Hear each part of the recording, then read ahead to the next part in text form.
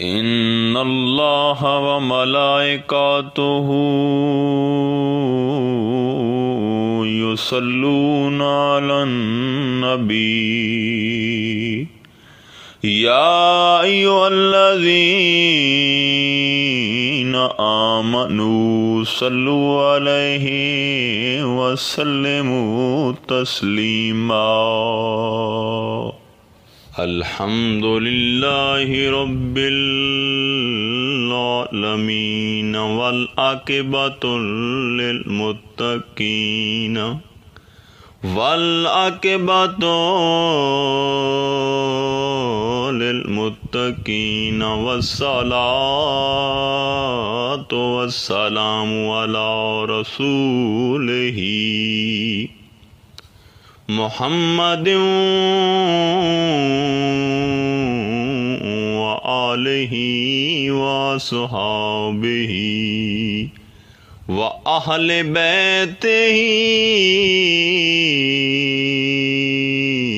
أجمعين الصلاة والسلام عليك يا رسول الله وعلى آلك وصحابك يا سيدي يا محبوب الله سامعین محترم، اللہ رب العزت کا بہت بڑا احسان ہے کہ اس کی ذات پاک نے ہمیں اپنے حبیب محمد مجتبہ صلی اللہ علیہ وآلہ وسلم کا امتی بنایا۔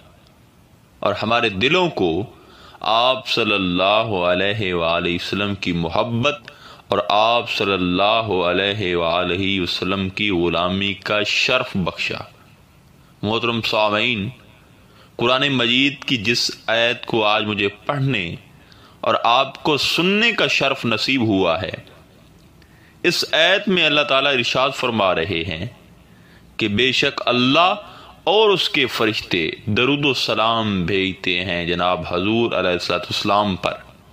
اے ایمان والو، تم بھی حضور پاک صلی اللہ علیہ وآلہ وسلم پر درود بھیجو۔ چنانچہ غور کریں کہ اللہ تبارک و تعالیٰ کس طرح سے قرآن پاک میں یہ بتا رہے ہیں کہ ہم آپ صلی اللہ علیہ وآلہ وسلم پر درود و سلام بھیجتے ہیں اور ساتھ فرشتے بھی بھیجتے ہیں۔ لہٰذا اس کے ساتھ ہی اللہ تعالیٰ نے یہ اہل زمین کو بھی دعوت اور حکم دیا ہے کہ وہ بھی آپ صلی اللہ علیہ وآلہ وسلم پر صلاۃ السلام بھیجیں۔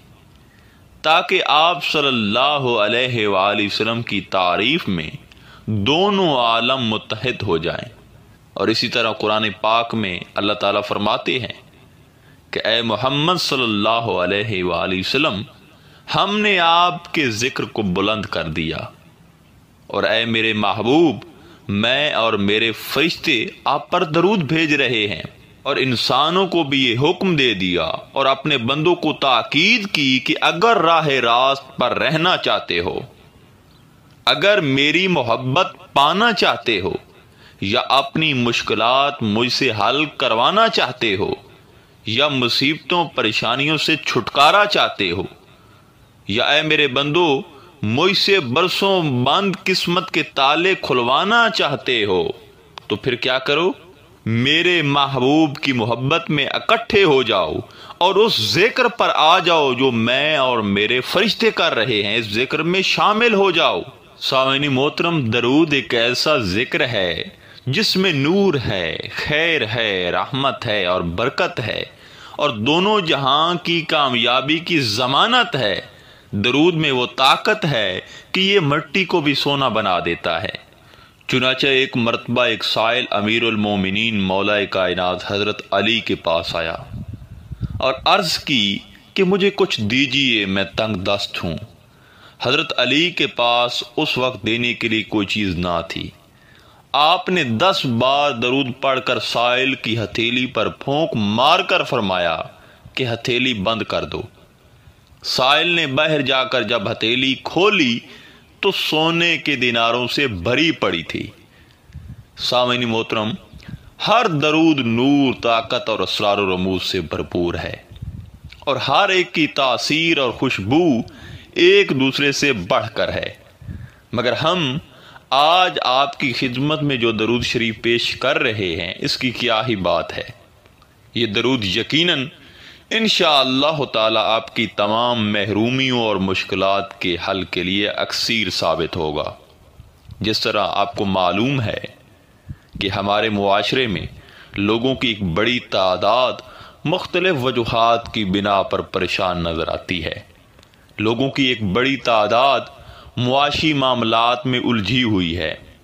بہت سے لوگ اپنے بچوں کے حوالے سے پریشان ہیں۔ اسی طرح بہت سے لوگ مختلف قسم کی بیماریوں اور عارضوں میں مبتلا ہیں۔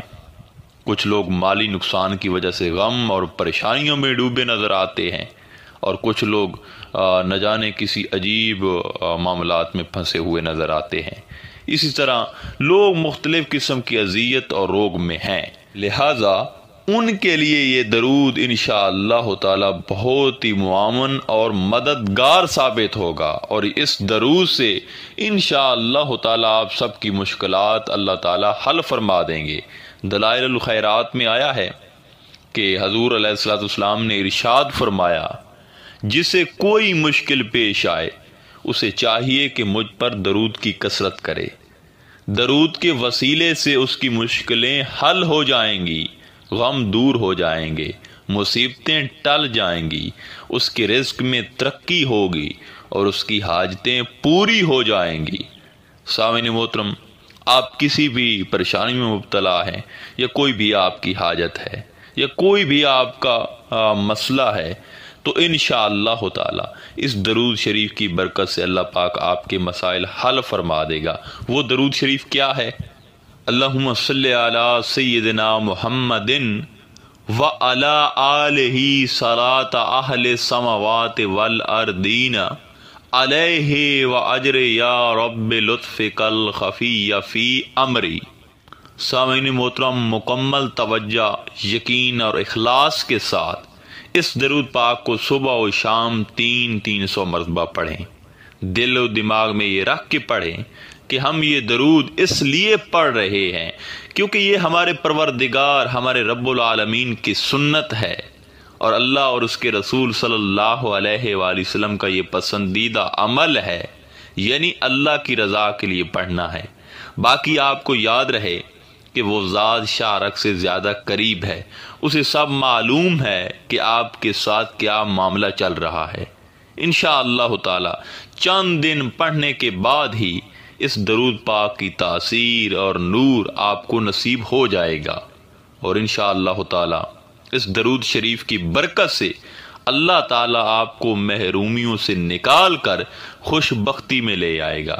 آپ کے مسائل، آپ کی پریشانیاں انشاءاللہ اللہ تعالی آپ کی زندگی سے ختم ہو جائیں گی۔ آخر میں دعا ہے کہ اللہ تعالی ہم سب کو کثرت سے جناب سرکار دو عالم حضور پر نور صلی اللہ علیہ وآلہ وسلم پر درود پڑھنے کی توفیق عطا فرمائے۔ انشاءاللہ اللہ تعالی ملتے ہیں ایک نئے موضوع میں۔ تب تک اللہ نے کی بان